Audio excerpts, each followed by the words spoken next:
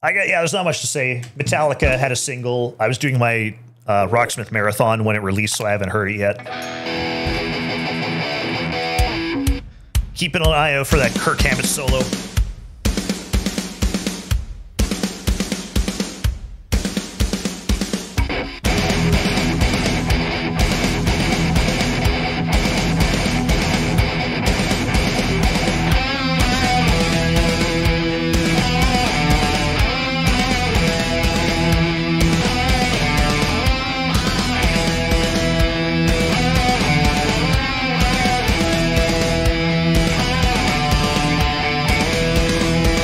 Okay.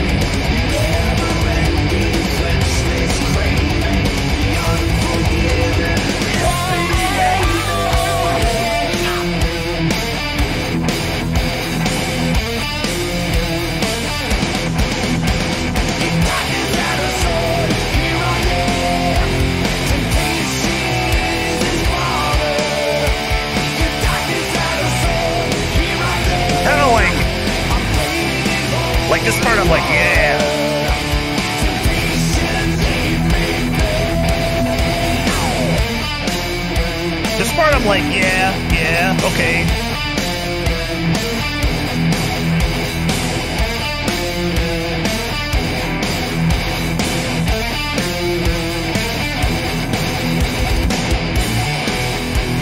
This part, I'm like, yeah.